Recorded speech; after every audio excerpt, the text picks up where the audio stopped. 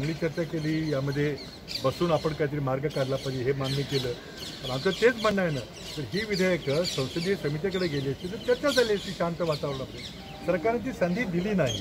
आता राज्यपाल महोदयांनी सांगितलं की सगळे विचारवंत बसून काहीतरी मार्ग यातून काढा. तर एक गोष्ट मान्य केली की काहीतरी यामध्ये विचार करण्यासारखा कारण सगळा शेतकरी समाज रस्त्यावर उतरलेला आहे. तर कुठंतरी काहीतरी समस्या आहे. आता ती वेळ निघून गेलेली आहे आणि सरकारनं आता पुढाकार घेतला पाहिजे. ही विधेयकं तात्पुरती स्थगित ठेवली पाहिजेत अंमलबजावणी थांबवली पाहिजे सरकारला करता येतं. आणि पुन्हा सर्वांना विचारून मिळून मिळून काय बदल केले पाहिजे? सुधारणा झाल्या पाहिजे शेतकऱ्याला चार पैसे जास्त मिळाले पाहिजेत आमच्या सगळ्यांची अपेक्षा पण हा मार्ग. राज्यातलं सरकार जे आहे महाविकास आघाडीचं इतर शिवसेना असेल एनसीपी असेल त्यांची जी संसदेत जी भूमिका होती ती अजूनही स्पष्ट दिसत नाही आहे तर तुमचं एकमत आहे का राज्यात बघा राज्यातलं एक सरकार आहे तीन पक्षाच्या आघाडीचं सरकार आहे. तो या विधेयाबद्दल काय निर्णय घ्यायचा अंमलबजावणीचा ते घेईल. मंत्रिमंडळामध्ये चर्चा होईल. के महामहिम राज्यपाल महोदय से जुड़ा कुछ हमारे सांसद थे और कुछ हमारे मंत्रीगण थे और कुछ विधायक थे. राज्यपाल महोदय ने हमारा निवेदन हमारा ज्ञापन था वो स्वीकार किया और उस पर बड़े खुले दिल से चर्चा हुई.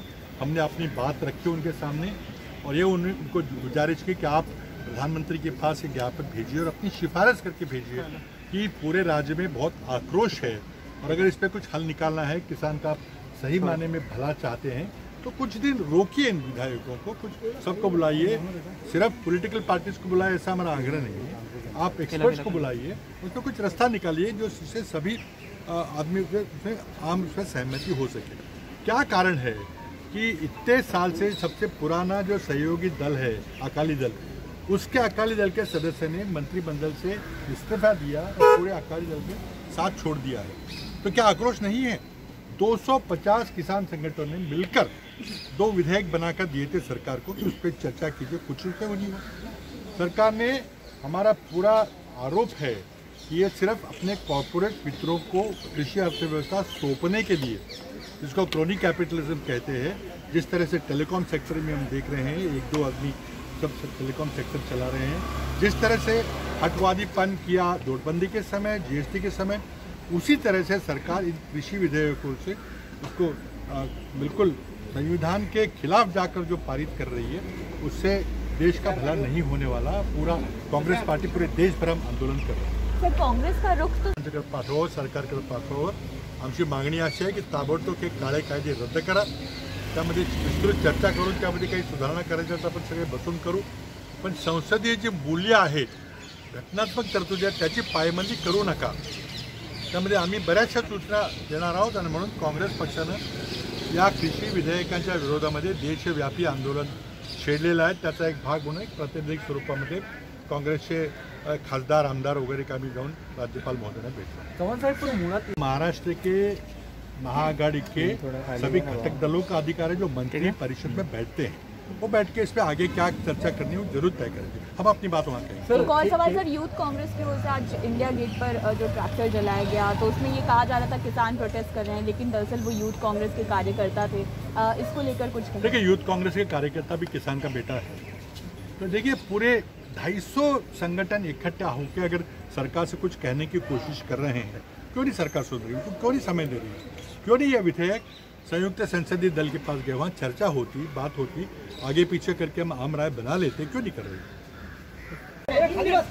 आताच काँग्रेस पक्षाचं एक शिष्टमंडळ माननीय राज्यपाल महोदयांना भेटलं आणि त्यांना एक आम्ही एक आमच्या पक्षाच्या वतीने निवेदन सादर केलं. आजच्या आमच्या शिष्टमंडळामध्ये आपण पाहिलं असेल की आमचे दोन सहकारी प्रांताध्यक्ष बाळासाहेब थोरात आणि ज्येष्ठ मंत्री माजी मुख्यमंत्री अशोकराव नव्हते कारण काही दिवसापूर्वी म्हणजे महाराष्ट्राचे नवीन काँग्रेस पक्षाचे प्रभारी एच के पाटील हे मुंबईला आले असताना ते त्यांच्या समवेत त्यांनी दोन एक दिवस घालवले. गाडीत एकत्र बसले होते आणि आता एच के पाटील यांना एकदम कोरोना डायग्नोज झालेला आहे. त्यामुळे सुरक्षेच्या दृष्टीनं दोघांनीही एक सेल्फ आयसोलेशनमध्ये राहण्याचं ठरवलेलं आहे. बाकी शिंदेसाहेब वगैरे आम्ही सगळे येऊन राज्यपाल महोदयांना भेटलो. त्यांना एक आम्ही निवेदन दिलं. आणि आजच्या निवेदनाचा विषय हा केंद्र सरकारने जे तीन कृषीविषयक विधेयकं घाई गर्दीमध्ये पास केली अगदी लोकशाहीचा गळा घोटला विशेषतः राज्यसभेमध्ये तो आमचा हक्क असतो मतविभाजन करण्याचा. तो हक्क फेटाळा. आणि राज्यसभेमध्ये बहुमत नसल्यामुळं आवाजी मतदानाने ही विधेयकं घाई गर्दीत पारित केली. आम्ही त्या विधेयकांना काळी विधेयकं मानतो. शेतकऱ्यांना आणि सर्व कृषी अर्थव्यवस्थेला पुन्हा गुलामगिरीमध्ये लोटणारी विधेयकं आहेत. आणि फक्त कृषी अर्थव्यवस्थेचा सर्व कंट्रोल सर्व नियंत्रण हे आपल्या कॉर्पोरेट मित्रांना मोठ्या मोठ्या उद्योगपतींना देण्याचं एक कारस्थान आहे असं आमचं स्पष्ट मत आहे. कृषी अर्थव्यवस्थेमध्ये सुधारणा झाली पाहिजे याबद्दल कोणाचं दुमत नाही पण सरकारला ही जर तीन विधेयकं आणायची होती तर किमान पक्षी आपल्या सरकारमधल्या जे समर्थन देणारे अकाली दलसारखे पक्ष आहेत त्यांच्याशी चर्चा व्हायला पाहिजे होती मंत्रिमंडळामध्ये व्हायला पाहिजे होती. आमच्या सर्वांची मागणी काय होती? की ही तिन्ही विधेयकं संयुक्त संसदीय समितीकडे पाठवा. तिथं अतिशय शांतपणानं जॉईंट पार्लमेंटरी कमिटीमध्ये विचार होतो. त्यामध्ये काही बदल सुचवायचे असेल तर बदल सुचवले जातात. तर काही घाईगर्दीनं दंगाबस्ती काही होत नाही. पण हे न करता ज्या घाईगर्दीमध्ये नरेंद्र मोदींनी ही विधेयकं पास केली बहुमत नसताना याचा अर्थ असा आहे की त्यांचा काहीतरी हेतू वेगळा आहे. आणि ह्या विधेयकांच्या अंमलबजावणीनंतर सर्व भारताची कृषी अर्थव्यवस्था ही बड्या उद्योगपतींच्या आणि ज्याला क्रोनी कॅपिटलिझम म्हणतात त्या क्रोनी कॅपिटल मित्रांच्या कशात आहेत त्यांचे खूप त्यांच्याकडे संपत्ती आहेत आता काळाबाजारी करण्याकरता आपण जो आवश्यक वस्तू कायदा केला तो तोड निरस्त केलेला आहे. त्यामुळे हे सगळे मोठे उद्योगपती मातीमोल भावाने शेतीमाल विकत घेतील आणि नंतर चढ्या किमतीने तो विकतील. आता हे जे सांगितलं जातं आहे की शेतकऱ्याला आम्ही खुली बाजारपेठ उपलब्ध करून देतो. आज शहाऐंशी टक्के शेतकरी हे दोन हेक्टरच्या पेक्षा कमी क्षेत्र बरेचसे त्यातले कोरडवाहू आहेत. त्या माणसाला दुसऱ्या राज्यामध्ये आपला कृषी माल घेऊन विकणं हे किती हास्यास्पद आहे.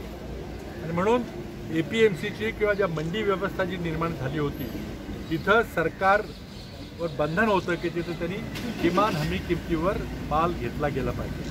तर आमची मागणी अशी आहे की किमान हमी किंमत देण्याची व्यवस्था कायद्यामध्ये करा. आणि ज्या तेवीस वस्तू ज्यांची किमान हमी किंमत ठरवली जाते त्या सर्व किमती ठरवल्यानंतर त्या विकत कशा घेतल्या जातील जर किमती पडल्या तर? याचा कायदेशीर हक्क हा शेतकऱ्यांना मिळाला पाहिजे. मोदी सरकारने दोन हजार बावीसपर्यंत शेतकऱ्याचं उत्पन्न दुप्पट करतो म्हणून सांगितलं. पण त्यामध्ये आता किती पट वाढलेलं आहे काय काहीच कोणी सांगायला तयार नाही. आणि अशीच फक्त घोषणाबाजी झाली आहे त्यात काही झालेलं नाही. स्वामीनाथन आयोगाच्या शिफारसीप्रमाणे उत्पन्न खर्चाच्या दीडपट किमान हमी किंमत ठरवू हे सांगितलं तेही सगळं खोटं आश्वासन निघालं. आपण बघतोय कृषी अर्थव्यवस्था जेमतेम दोन तीन टक्क्यानं वाढती आहे. आणि अशा परिस्थितीमध्ये तुम्ही दोन हजार बावीसपर्यंत शेतकऱ्याचं उत्पन्न दुप्पट करायची जी आभास निर्माण केला शेतकऱ्यांनी जे फसवलं त्याबद्दल आमचा निषेध केला आहे. तर प्रश्न उपस्थित होतो की ज्या ठिकाणी सत्ता आहे त्याच ठिकाणी काँग्रेसला स्टँड घ्यायचं आहे. नाही, आता आमची मागणी काय आहे की हा घाईगर्दीमध्ये संसदेमध्ये कायदा पास झाला राष्ट्रपतींनी त्याला मान्यता दिलेली आहे. पण अजूनही सरकारला कायदा निरस्त करता येतो स्थगित ठेवता येतो पुन्हा चर्चा करता येते. संसदेकडे जे सगळे अधिकार आहेत ते केलं पाहिजे. आता त्यामुळं काय होणार आहे की आता कुठल्या राज्यामध्ये कुठलं सरकार कोणता कायदा स्थगित ठेवेल आता हा मी विचार करू. पण दोनशे पन्नास शेतकरी संघटनांनी एकत्र येऊन एक दोन विधेयकं सरकारकडे पाठवली होती. की त्यामध्ये दोन साध्या मागण्या होत्या. की आम्हाला किफायतशीर किंमत मिळाली पाहिजे आणि हमी भावाचा कायदा केला पाहिजे. तर ह्या विधेयकांची चर्चा न करता सरकारनं आपल्या मनानंच वेगळी विधेयक आणली. आणि यामध्ये आमचा स्पष्ट आरोप आहे की फक्त कॉर्पोरेट सेक्टरला कृषी व्यवस्थेमध्ये शिरकाव करण्याकरता आणि सगळं कॉर्पोरेट सेक्टर ताब्यात घेण्याकरता हे विधेयक आहे. अशाच प्रकारे आम्ही नोटबंदीच्या बद्दल देखील विरोध केला होता की हे करू नका तुम्ही. पण सरकारने हट्टानं तो नोटबंदी केली ते काय परिणाम झाले आपण बघतोय. किती लोकांच्या नोकऱ्या गेल्यात किती अर्थव्यवस्था कोलबडली आहे. आणि त्या दिवसापासून भारताची अर्थव्यवस्था घसरत चाललेली आहे सगळं स्पष्ट झालेलं आहे सरकारी आकड्यावरून. तोच हट्ट जी एस टीच्या अंमलबजावणीमध्ये केला. आणि अजिबात कोणाचं विरोधी पक्षाला ऐकायचं नाही. हम करेसो कायदा त्याप्रमाणे केलं. त्यामुळे सगळे छोटे व्यापारी छोटे उद्योगपती उद्ध्वस्त झाले.